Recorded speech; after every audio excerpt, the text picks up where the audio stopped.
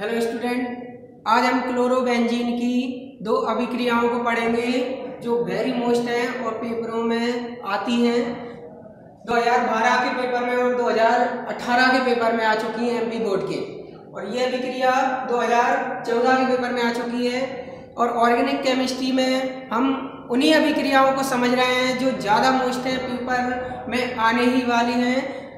Okay तो समझना start करते हैं। तो क्लोरोबेंजीन सभी को पता होगा सबसे पहले तो क्लोरोबेंजीन सभी जानते हैं। क्लोरोबेंजीन का फिर भी मैं एक बार फॉर्मूला बता देता हूँ।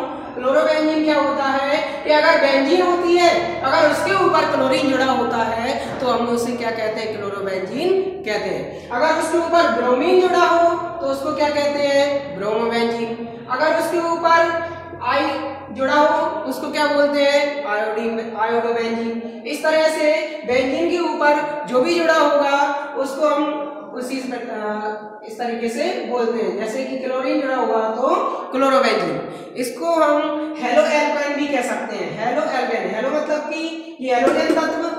फिर कल बार आयन क्लोरीन क्लोरीन। तो ये हेलोजन है हमारे और हेलो एल्केन एल्केन एल्केन या एरिन एल्केन आएगा यानी कि, उसमें सीधी श्रृंखला आएगी कार्बन की, खुली श्रृंखला, और एरिन का मतलब क्या होता है कार्बन की बंद श्रृंखला? ये देखो, ये कार्बन है ना, कार्बन की कैसी श्रृंखला है ये? बंद श्रृंखला। बंद श्रृंखला में अगर कोई भी क्या जुड़ रहा है? कोई भी हेलोजन तत्व जुड़ रहा है तो उसको क्या बोलते हैं हम? Halo alkane halo arene halo arene और अगर खुली श्रृंखला में कोई भी हेलोजन तत्व जुड़ रहा है तो उसको क्या बोलते हैं? Halo, alkane. Halo alkane, halo arene अब समझते हैं, अंधेरे में एपीसीएल3 की उपस्थिति में क्लोरीन के साथ अगर हम क्लोरोबेंजीन की क्रिया कराते हैं तो क्या होता है? तो सीधी सिंपल सी बात है, क्लोरीन की अभिक्रिया समझाना है तो क्लोरो सॉरी क्लोरोबेंजीन की अभिक्रिया समझाना है तो क्लोरोबेंजीन तो उसमें होना ही चाहिए। तो क्लोरोबेंजीन ले लिया हमने तो देखो, जब एपीसीएल3 की उपस्थिति में क्लोरोबेंजीन की क्लोरीन के साथ क्लोरोबेंजीन की क्लोरीन के साथ अंधेरे में क्रिया की जाती है। क्लोरोबेंजीन की क्लोरीन से अंधेरे में क्रिया की जाती है। वो भी किसकी उपस्थिति में? एपीसीएल3 की उपस्थिति में। तो शुरू से क्या बोलेंगे कि जब क्लोर, जब एपीसीएल3 की उपस्थिति, जब एपीसीएल3 की उपस्थिति में क्लोरोबेंजीन की क्लोरीन से क्लोरोबेंजीन की क्लोरीन से अंधेरे में क्रिया की जाती है। अंधेरे में क्रिया की जाती है तो हमें ऑर्थो डाइक्लोरोबेंजीन तथा पैरा डाइक्लोरोबेंजीन प्राप्त होता है। ऑर्थो डाइक्लोरोबेंजीन तथा पैरा डाइक्लोरोबेंजीन प्राप्त होता है। सभी को समझ में आ गया होगा। अब अभिक्रिया समझते हैं इसकी। अभिक्रिया में क्या लेना है? हमें क्लोरोबेंजीन लेना है। ये क्या रख लिया हमने यहाँ पर? क्लोरोबेंजीन। और क्लोरोबेंजीन की क्रिया हमें किससे कराना है? क्लोरोबेंजीन की क्रिया हमें क्लोरीन से कराना है। तो क्लोरोबेंजीन रख ली और ये क्लोरो क्लोरीन रख ली। क्लोरोबेंजीन की क्रिया क्लोरीन से कराएँगे, वो भी किसकी उपस्थिति में? एपीसीएल3 की उपस्थिति में और अंधेरे में करवाना है। प्रकाश नहीं होना चाहिए। बंद कमरे में बैठ जाना। ठीक है? तो अब देखो, क्या करेंगे? जैसे क्लोरीन है क्लोरीन के दो अणु है। तो दो अणुओं में से एक अणु एक अणु एक क्लोरोबेंजीन के साथ जुड़ जाएगा और दूसरा अणु दूसरी क्लोरोबेंजीन के साथ जुड़ जाएगा। यहाँ पर। एक तो यहाँ पर जुड़ेगा और दूसरा दो अणु है ना इसके भी क्लोरोबेंजीन के। दूसरा अणु एक ऐसी ही क्लोरोबेंजीन है, उसमें यहाँ पर जुड़ेगा। तो ये क्या हो जाएगा? अगर यहाँ जुड़ेगा क्लोरीन तो क्या हो जाएगा? ऑर्थो डाइक्लोरोबेंजीन ऑर्थो डाइक्लोरोबेंजीन यहाँ जुड़ेगा तो क्या बोलेंगे इसको? ऑर्थो डाइक्लोरोबेंजीन और यहाँ जुड़ेगा तो इसको क्या बोलेंगे? पैरा डाइक्लोरोबेंजीन डाइक्लोरो क्यों है? क्योंकि दो बार क्लोरो है।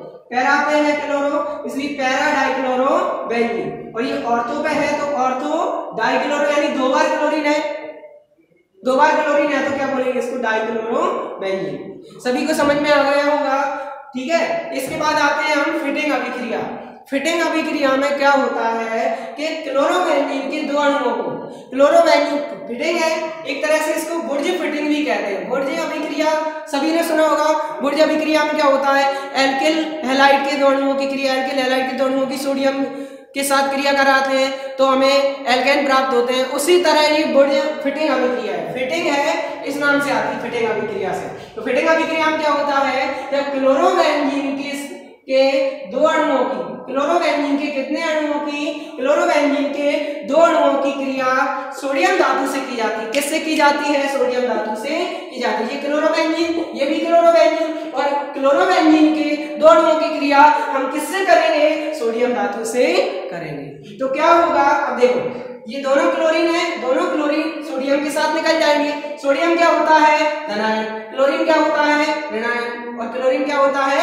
ऋणायन तो दोनों दोनों सोडियम दोनों क्लोरीन को लेकर चले जाएँगे तो क्या हो जाएगा? Two N A C L two N A C L बन जाएगा और बचेगा क्या? दोनों बेंजीन आपस में आके जुड़ जाएँगे और इसको हम क्या बोलेंगे? डाई फेनिल ही बोलेंगे ना? दो बार फेनिल है, दो बार फेनिल अगर ऐसे देखो बेंजीन होता है बेंजीन में एच होता है यहाँ पर, सब जगह एच होता है। सब जगह एच होता है में। अगर एक एच निकल जाए तो उसको हम क्या बोलते हैं? फेनिल बोलते हैं। तो यहाँ से दोनों दोनों मतलब कि बैलेंस ही खाली है उसकी और दोनों आपस में आके जुड़ गए। तो इसको क्या बोलेंगे अपन? डाई फेनिल डाई फेनिल सभी को समझ में आ गया होगा। एक बार और समझ लेते हैं। क्या होगा? दो क्लोरोबेंजीन होगी, दो क्लोरोबेंजीन की क्रिया हम सोडियम धातु से करेंगे। तो क्या हो जाएगा? टू एन निकल जाएगा। टू एन बीच में निकल जाएगा। दोनों फेनेल आपस में जुड़ जाएँगे। तो क्या हो जाएगा? डाइफेनेल हो जाएगा। उम्मीद है सबको समझ में आ गई होंगी ये दोनों अभिक्रियाएँ और दोनों ही मोस्ट हैं पेपरों की दृष्टि से। ओके, वेट करिए अगली अभिक्रियाओं के लिए।